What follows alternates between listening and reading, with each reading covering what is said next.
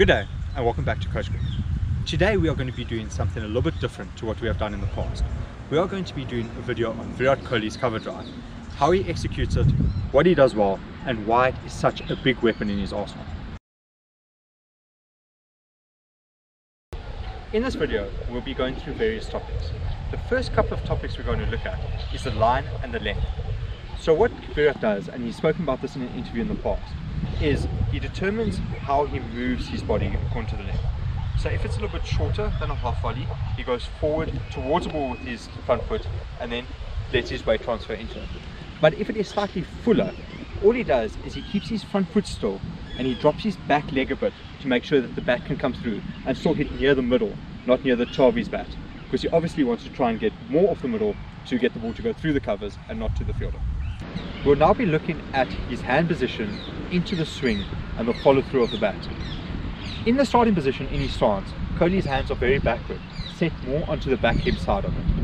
As he steps through the ball, his hands go up with the wrists cocking, bat face pointing towards point, then the bat swings from a slightly outward in sort of angle to make sure that he gets a full swing through the ball.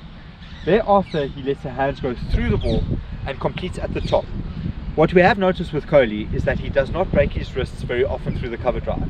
If he can maintain the bat in one line, he do, does that for as long as possible. The reason he hits the drive as cleanly as he does is because he's got a fluid swing through the ball with a big backswing which helps him with the power.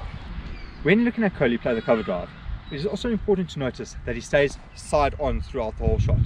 That means that the feet, the hips and the shoulders are all pointing in the line that we're trying to hit the ball. So if we had to take a stride forward, we'd see that he gets onto the instep of his big toe, which is over here if we look closely. The front foot will be towards where the ball is, and the head is just slightly over the front foot. From here, this allows us to keep our shape through the ball. If we had to swing now, without breaking wrists, we'll see that the lines all stay in the same direction. That is four. That is for certain. Beautiful drive. That's as good as it gets. Also important to note is that when we are playing the shot, we want to have a stable base. What this means is, as you're playing the shot, our back foot is stationary and our front foot is stationary, allowing us to have the most power to work from. Think about it as though you're trying to push something. You have both feet firmly on the ground to help generate power from your legs into your upper body. It is the same when playing the cover drive.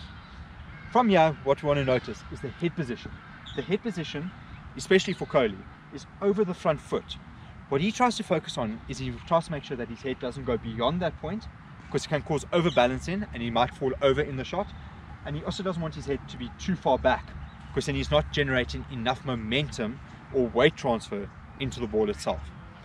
From here, we'll also have a look at the contact point, which what he tries to accomplish is to try and hit as close to his leg as possible except when he's in on the up, he tries to play it slightly later to make sure that he hits it down. The last aspect we'll be looking at is making sure that there's good shoulder rotation and a good swing through the ball. So what do we mean by shoulder rotation? What we first need is a good shoulder dip. If I to draw a line from here, you can see that the shoulders are pointing towards where the contact point should be. From there, if we actually start swinging, we see the shoulders start rotating through to allow the swing and then all the way through to the top. This allows us to make sure that we've got a big swing and a straight swing through the ball, enabling us to get more power through the ball and making sure that our lines remain good throughout.